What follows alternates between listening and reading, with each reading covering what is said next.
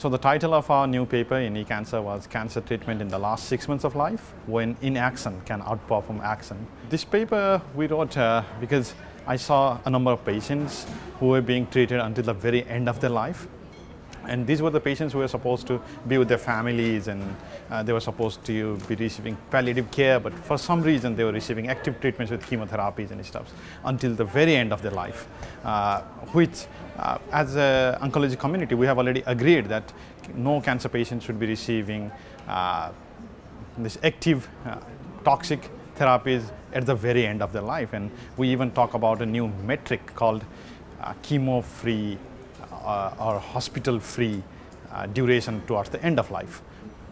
Uh, so it came to our mind that why is this happening? So we wanted to explore on that. Why are cancer patients being actively treated until the very end of life when we know that chemotherapy is going to be futile and the patient is not going to benefit, but still why are we uh, doing that? So uh, during our review, we came up with uh, a, uh, a couple of explanations for that. Uh, one is because we don't know um, we don't know how to predict prognosis very well, so we actually do not know uh, when the patient is going to die.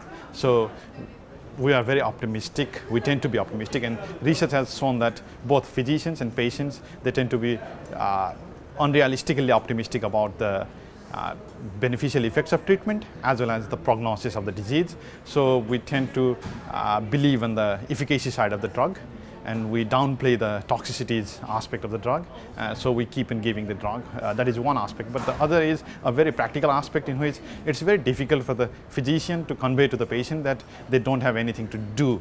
Uh, in terms of active treatment, of course, there is always palliative care and supportive care that you can do for the patient and which is very meaningful. But in terms of treating the cancer disease itself, uh, it's very hard to convey to the patient as a physician that uh, there are no options left. Uh, and, and the other, other stigma about palliative care is palliative care, when the patient hears the word palliative care, he equals that to uh, the doctor abandoning his responsibility and uh, the patient being on the verge of death.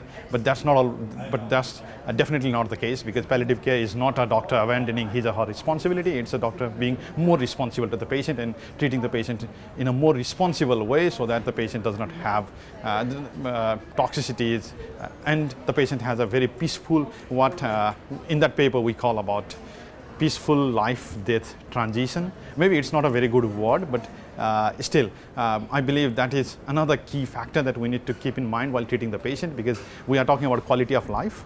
Uh, but what about quality of life death transition? Because these are the last few moments a patient has and the patient wants to spend that time without having a lot of IV treatments, uh, uh, injections going on in his body without having to suffer the side effects of the treatment and he wants to spend that time with his friends and families, he or she. Uh, so we need to uh, keep this in mind while treating a patient. And the other, other important uh, finding of our paper was then we looked after the cancer drug approvals from the FDA uh, in last five years and we found like there were three drugs that were approved uh, but they had a median of overall survival of around only six months. Uh, so this was a bit shocking to us because uh, yeah, there are a lot of papers that talk about OS benefit with the drug, but we are not talking about OS benefit. We are not talking about how much of difference between the control and the drug, but we are talking about the whole survival with the drug. And the total survival of the drug is only around six months. So we agree on one hand that a patient in the last six months of life should not be receiving active cancer treatment. And we also approve drugs that provide a survival of only around six months. And that is if you compare with the placebo arm or the comparator arm, uh, in the comparator arm or the placebo arm, the patient still has four months of survival. So it is four months of chemo-free life versus six months of chemo-laden life. Uh, uh so uh, we point out that Mm, the regulatory authorities should also take this matter into account. And if we agree that no patient should be receiving active cancer treatment towards the very end of their life, in the last six months of their life, then we should also not approve the drugs that don't provide a survival of more than six months. Has there been any feedback to this from palliative care organizations? Uh, yeah, there have been a lot of feedback, especially on social media, from a lot of um, physicians who shared our emotions and who shared our experiences, and they keep uh, they tell us that they have also seen a lot of such examples that are happening in their own setting. So, irrespective of high income country or low income country, patients everywhere. Uh, they are uh, receiving active treatments until the very end of their life. And there are a lot of uh, uh, palliative care physicians who are trying to, uh, uh, who are very supportive of our work and who are saying that this paper should form the basis of uh, a new curriculum in teaching medical oncologists, uh, in training medical oncologists that, uh, because we are training medical oncologists only on treatments, like if a patient has gastric cancer, you should do this on the first line treatment, second line treatment this, third line treatment this, but nobody talks about how to convey uh, bad news to the patient and how to negotiate with the patient about treatment goals. Uh, and these skills are as much of, should as much be a part of medical medical oncology training as uh, the treatment uh, schedules and regimens itself. Some authors or columnists have also, uh, based on our paper, they have also written some columns in uh, newspapers in the country, uh, which uh, was very touching to us because our main intention in writing the paper was to stimulate a discussion because this is this is supposed to be a taboo topic to talk about death and to talk about uh, life death transition of a cancer patient but uh, but this was very important topic.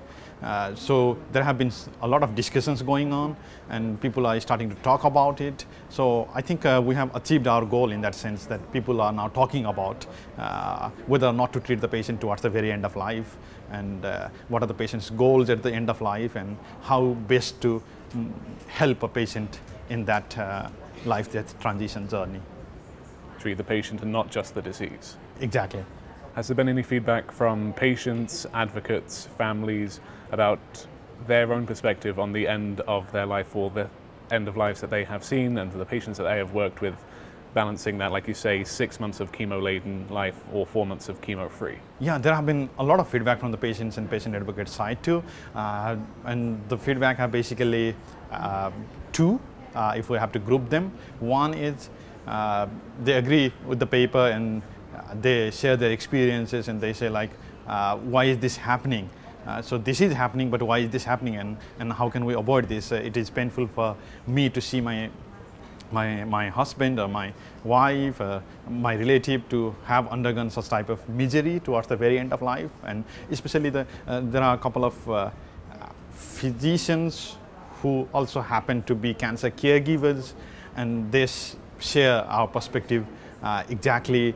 Uh, and so uh, everyone is asking about why are we doing this? and how can we stop up, uh, stop this? And then there is another another school of thought in which, uh, uh, to which I, I completely agree as well, in which the patients and the patient advocates speak about the need to uh, individualize the decision and talk to the patient and ask the patient for his or her treatment expectations, goals, and tailor the treatment accordingly. It's maybe not the personalized care that we hear so much of about, but it still matters. Yeah, I think uh, this should uh, be the in fact, this should be the definition of precision medicine or the personalized medicine to personalize the treatment depending on the patient's goals and needs and side effects and uh, uh, yeah, instead of the what uh, instead of the common definition of precision medicine that we have been hearing, I think this is the true precision or personalized medicine.